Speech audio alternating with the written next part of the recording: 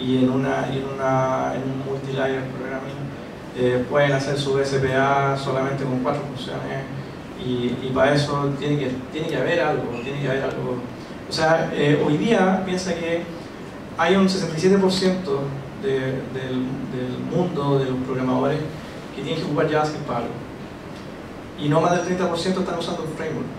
Entonces, ese otro, ese otro 40% todavía tienen que usar herramientas obsoletas por porque no pueden eh, eh, implementar estos paradigmas que, están en el lenguaje nativo, que, que deberían ocuparse bien, dependiendo de la aplicación que esté haciendo. O sea, no todas las aplicaciones puedo ocupar Angular, no todas las aplicaciones puedo ocupar React, no todas las aplicaciones puedo ocupar Ember, no todas las aplicaciones puedo ocupar Vue.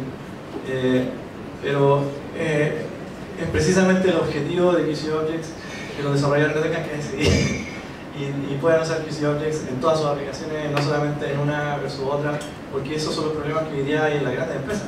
Hoy día en una, en una gran empresa que, que, tiene, que tiene un sitio web que, que, se conecta con un CRM, que levanta un pop-up para conectarse con SAP, tiene que usar tres o cuatro tecnologías que son distintas.